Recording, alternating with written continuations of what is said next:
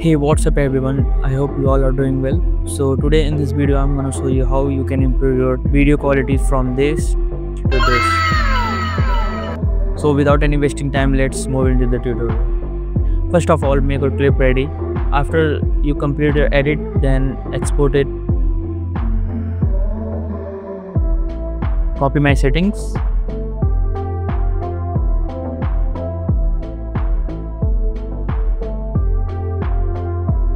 export it where you want.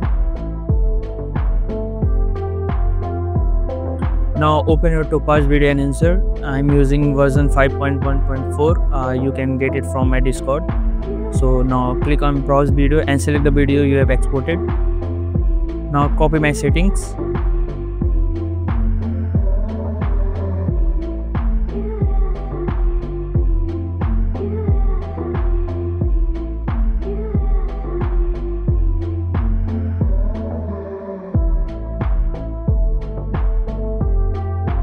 now click on export and wait for the topaz. Now after doing topaz import the topaz clip into the after effect again. Now decrease the size to 50 you can clearly see the difference between the topaz and the raw clip. There is so much difference Now create an adjustment layer by pressing Ctrl Alt and Y and add my CC. Don't worry, I will provide the CC in the description so you can download it from there. Well, you can see the quality.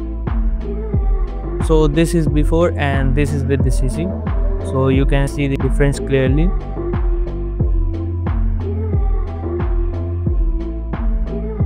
After doing all the things export the final time.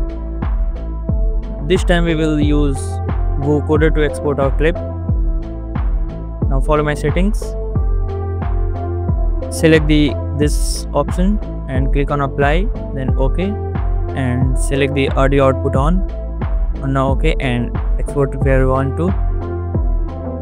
That's it. You are done. So that's all for today. So if you want more tutorial comment in this video and don't forget to like and subscribe. See you soon